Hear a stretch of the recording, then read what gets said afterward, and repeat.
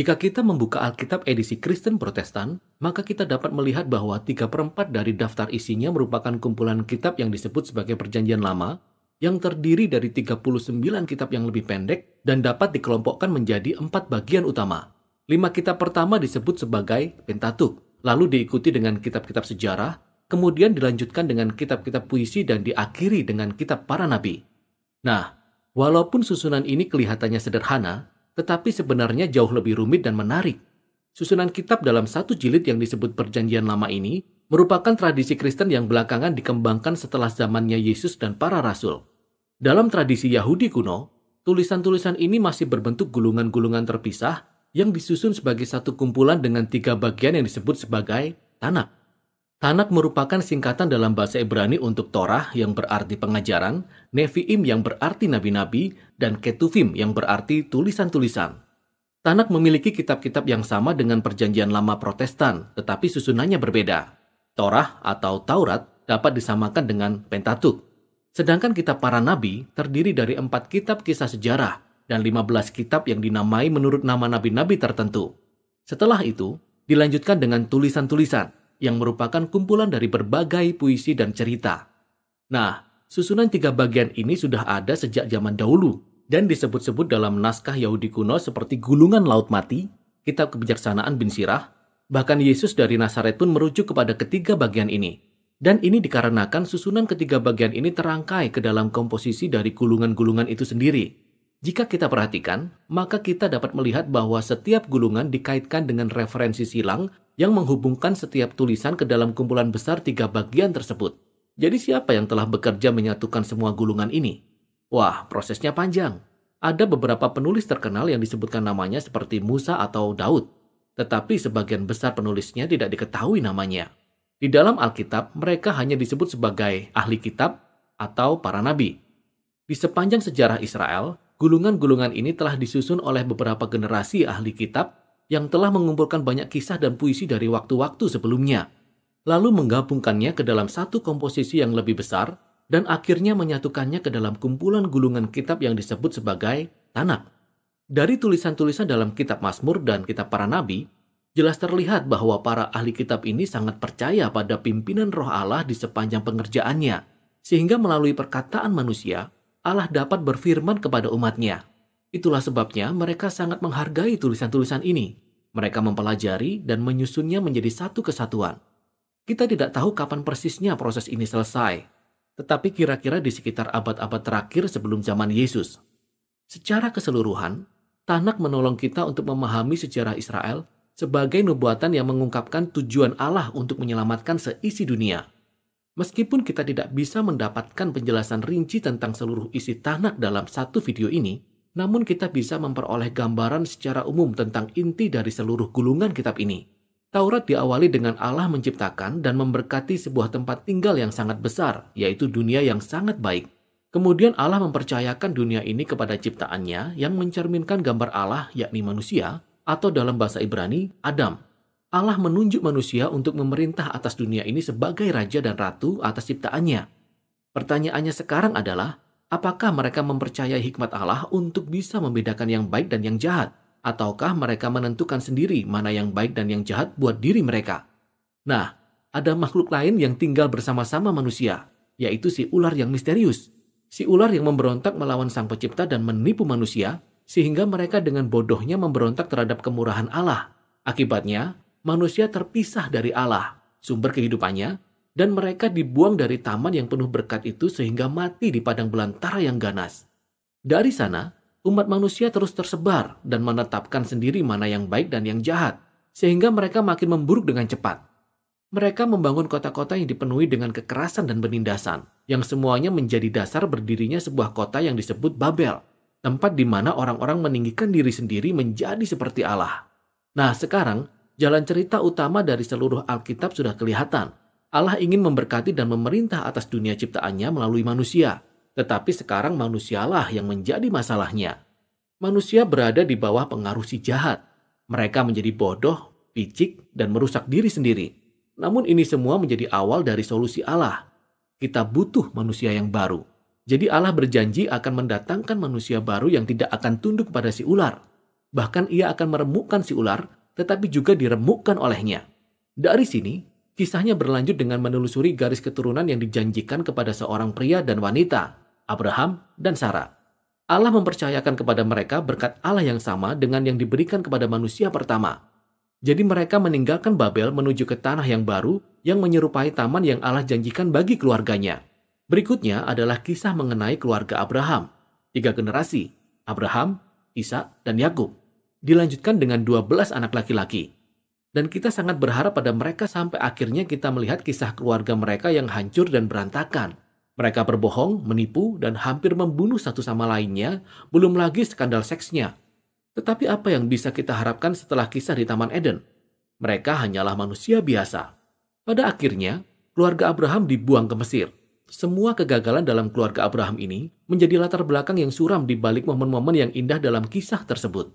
Allah tetap setia pada umatnya. Ia bahkan memberi mereka sebuah janji yang abadi yang disebut sebagai perjanjian di mana Allah akan menyelamatkan dan memberkati seluruh umat manusia melalui mereka. Bagaimana caranya belum begitu jelas. Tetapi keluarga Abraham berada dalam kondisi yang terbaik ketika mereka beralih dari rencana mereka yang egois dan mulai mempercayai janji Allah dengan iman yang sangat kuat. Dan sejak itu, keluarga mereka makin bertambah banyak.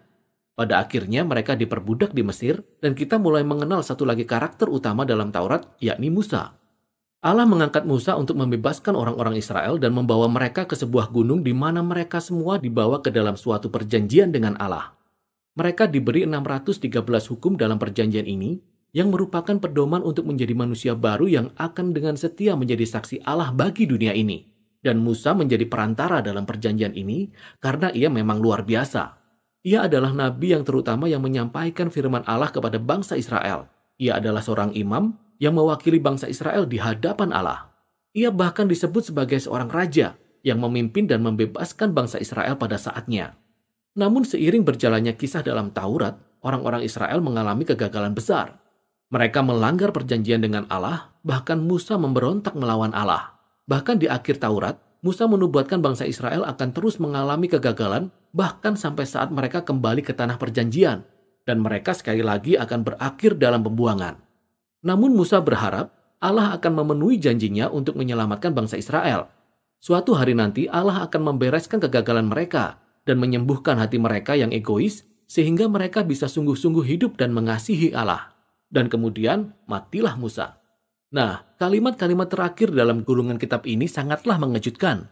Karena kita akan mendengar dari ahli-ahli kitab yang menyusun tanak dari sudut waktu yang maju ke depan. Mereka merenungkan kembali kisah Musa dari sudut pandang mereka dan menyatakan bahwa dalam sejarah Israel, nabi seperti Musa tidak akan pernah ada lagi.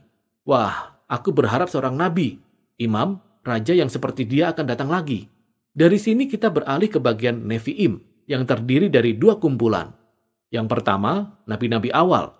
Empat narasi tentang kisah bangsa Israel di tanah perjanjian yang diceritakan oleh para nabi dari sudut pandang di masa depan. Pada awalnya semua berjalan dengan baik di bawah kepemimpinan Yosua. Kita tahu bahwa ia menjadi pemimpin yang sukses karena ia seperti Musa dan selalu merenungkan kitab suci siang dan malam. Tetapi akhirnya, Yosua pun mengalami kegagalan. Inilah awal dari kejatuhan bangsa Israel yang panjang dan menyakitkan menuju kehancuran. Tepat seperti yang telah diperkirakan oleh Musa dan dalam kisah di Taman Eden. Kebanyakan kisah ini berfokus pada kegagalan para raja, para nabi, dan imam-imam Israel bagaimana mereka telah berbohong, menipu, saling membunuh, dan menyembah berhala. Pada dasarnya, kisah ini mengulangi kisah kegagalan para leluhur mereka tetapi lebih lama dan lebih mengerikan. Namun ada titik terang, di mana Allah menegaskan kembali janjinya untuk memberkati seluruh umat manusia melalui seorang manusia baru, yaitu seorang raja dari garis keturunan Daud. Dan kita dapat melihat beberapa kisah seperti Daud atau Salomo yang mengalami saat-saat seperti Abraham ketika mereka mempercayai Allah. Tetapi ini tidak pernah bertahan lama. Dan tahukah Anda, keturunan Abraham akhirnya kembali ke tempat di mana mereka berasal, yaitu ketika mereka ditaklukkan dan dibuang ke Babel. Tetapi ingat, seluruh kisah ini diceritakan oleh para nabi dari sudut pandang di masa depan. Jadi mereka tahu pembuangan ini bukanlah sebuah akhir. Sehingga mereka menyusun kisah masa lalu Israel ini sebagai penunjuk kepada pengharapan mereka di masa depan. Ketika Allah membebaskan umatnya dari Babel, ia akan mengirimkan seorang raja baru yang seperti Musa dan Daud dan Salomo pada saat mereka masih setia. Sebenarnya inilah yang menjadi inti dari bagian kedua dari Nevi'im, yaitu nabi-nabi berikutnya. Ada tiga tulisan panjang dan dua belas tulisan pendek yang terkait dengan nabi-nabi tertentu, yang memang sengaja disusun untuk mengingatkan kita akan tiga plus dua belas leluhur sejak kitab kejadian, yang kisah kegagalannya juga mengandung benih-benih pengharapan di masa depan. Gulungan kitab para nabi ini memiliki banyak referensi silang yang menghubungkannya dengan kisah dalam kitab Taurat dan para nabi, dan kemudian melanjutkan kisahnya lebih jauh. Tugas nabi-nabi Israel adalah menjadi seperti Musa dengan menuduh Israel lama atas kegagalan dan kejahatan mereka, dan juga memperingatkan mereka akan ganjaran yang terus membayang-bayangi mereka, yaitu hari Tuhan, yang akan berakhir dengan kekalahan dan pembuangan di Babel. Tetapi para nabi juga berjanji bahwa Allah punya tujuan untuk memurnikan umatnya dan menciptakan kembali Israel yang baru yang setia seperti Abraham. Mereka akan hidup dalam perjanjian yang baru dengan Allah di bawah pemerintahan penguasa yang dijanjikan itu, yang digambarkan sebagai Musa yang baru, tetapi dipanggil dengan nama Daud. Ialah yang akan memulihkan berkat Allah bagi seisi dunia. Bagian akhir dari Nevi'im ini sama seperti Taurat. Dengan adanya catatan dari ahli-ahli kitab Tanakh yang merenungkan kembali seluruh kisah sampai saat ini dan mendorong para pembacanya untuk menantikan kedatangan seorang nabi baru yang seperti Musa yang mereka sebut sebagai Elia ia akan mengabarkan kedatangan Allah Israel yang akan memurnikan dan menyelamatkan umatnya. Dari sini, kita beralih kepada bagian ketiga dan yang terakhir dari Tanab, yaitu Ketuvim, yang berisikan kumpulan gulungan yang beragam. Masing-masing gulungan terhubung kembali dengan topik-topik utama dalam kitab Taurat dan para nabi, dan dikembangkan lebih lanjut menggunakan referensi silang yang sangat rinci. Misalnya gulungan kitab Mazmur diawali dengan dua puisi yang selaras dengan bagian awal dari kitab Taurat dan para nabi. Dalam Mazmur pasal yang pertama, kita akan bertemu dengan orang yang benar, yang digambarkan sebagai Yosua yang baru, seorang pemimpin sukses yang merenungkan kitab suci. Ia seperti seorang raja yang dijanjikan oleh Musa dan seperti pohon kehidupan yang abadi di Taman Eden. Mazmur pasal 2 kemudian memperkenalkan sosok ini. Dialah raja yang dijanjikan, anak Allah dari garis keturunan Daud, yang akan mengalahkan kejahatan di antara bangsa-bangsa dan memulihkan berkat Allah bagi dunia.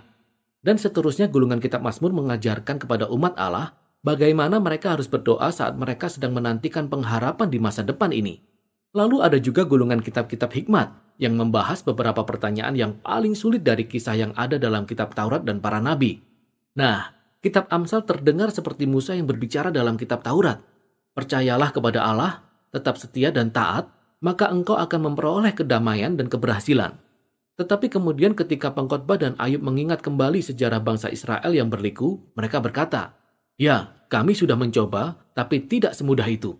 Ketiga kitab ini secara mendalam berbicara tentang apa artinya hidup dengan bijak di dalam dunia Allah yang baik, tetapi sering kali membingungkan. Dua kitab terakhir dalam Tanak memberikan masukan yang sangat penting, Gulungan Kitab Daniel melihat kembali sejarah panjang kegagalan dan penderitaan bangsa Israel sebagai pintu pengharapan yang istimewa menuju masa depan baru bagi dunia. Suatu hari nanti, manusia baru yang dijanjikan dalam kitab Taurat dan para nabi akan datang. Ia akan ditindas oleh niat jahat manusia yang menyerupai binatang, tetapi Allah akan membela dia dan membangkitkan dia untuk memerintah atas dunia dengan kuasa Allah.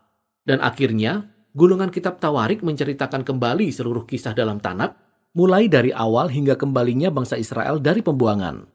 Penulisnya berfokus pada janji Allah kepada Daud, yaitu tentang seorang raja di masa depan yang akan menyatukan kembali umat Allah di Yerusalem baru dan akan membawa berkat Allah bagi bangsa-bangsa. Baris terakhir dari gulungan kitab Tawarik ini telah dipadankan dengan tulisan-tulisan penting dari seluruh kitab Tanak. Kalimat ini terus memberikan pengharapan untuk akhirnya bisa kembali dari pembuangan dengan datangnya seorang Israel yang disertai oleh Allahnya sehingga ia bisa pulang ke Yerusalem dan memulihkan Yerusalem yang baru. Dan demikianlah akhir dari kisah ini. Tanak merupakan kumpulan dari gulungan kitab Ibrani kuno yang disusun secara terencana dan penuh keagungan. Tulisan yang beragam dari sepanjang sejarah Israel ini telah dirangkai menjadi satu kesatuan kisah yang menceritakan tentang janji Allah bagi bangsa Israel dan bagi seluruh umat manusia. Tulisan-tulisan ini dibuat untuk dibaca dan direnungkan sepanjang hidup kita, karena perkataan manusia yang luar biasa ini mencerminkan hikmat Allah dan pengharapan akan masa depan yang masih relevan sampai saat ini.